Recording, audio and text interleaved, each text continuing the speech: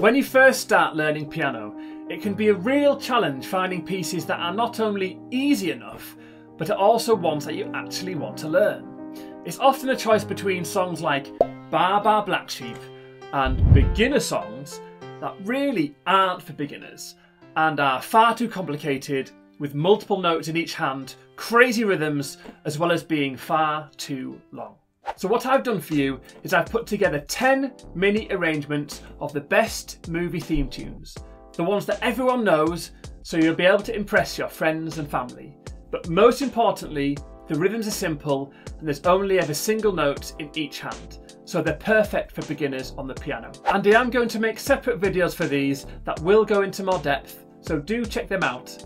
But for now, here's the top 10 movie theme tunes for beginners.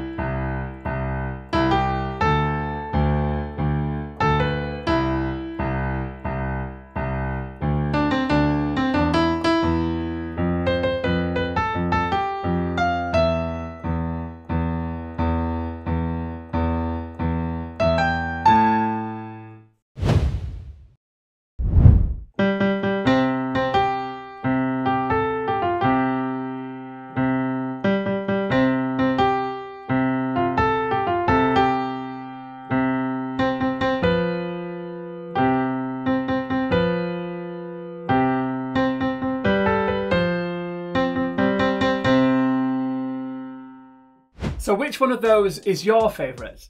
Do let me know in the comments below. If you like this video, then I've popped some other videos up on the screen that you may want to watch. And don't forget to check out my online courses over on my website. I've been Arthur, and thanks for watching.